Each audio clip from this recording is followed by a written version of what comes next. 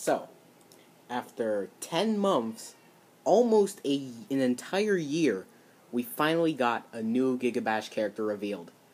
And, uh, just like we've been expecting, like, at least on the server, for the past, uh, I'd say a month or two, uh, it's the plant character. Her name is Rohanna.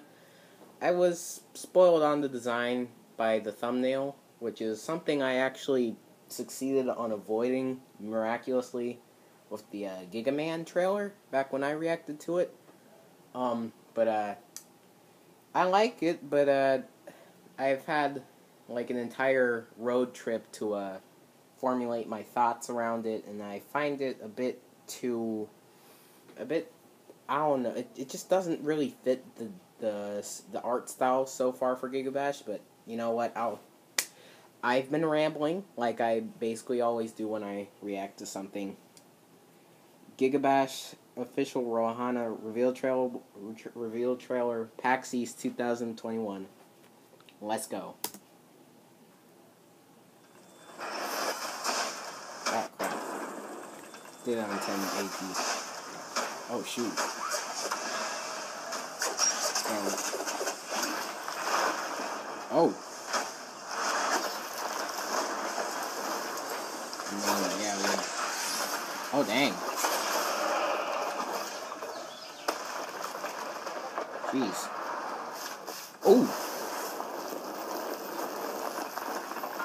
There she is.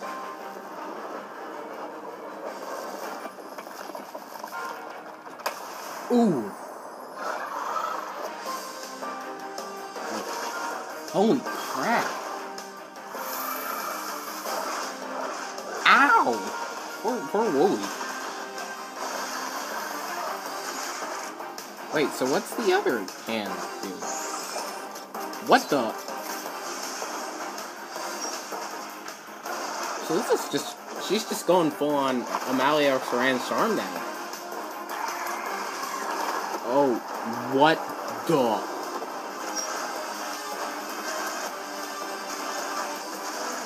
Why is she going for him? Is that a re- what? Ooh!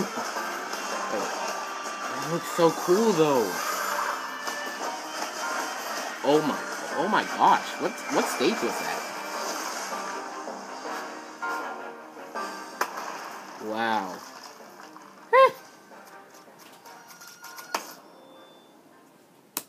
Early 2022. That that's what I was expecting, and I, I saw a screenshot of this too on the Gigabash Discord server, but hold on.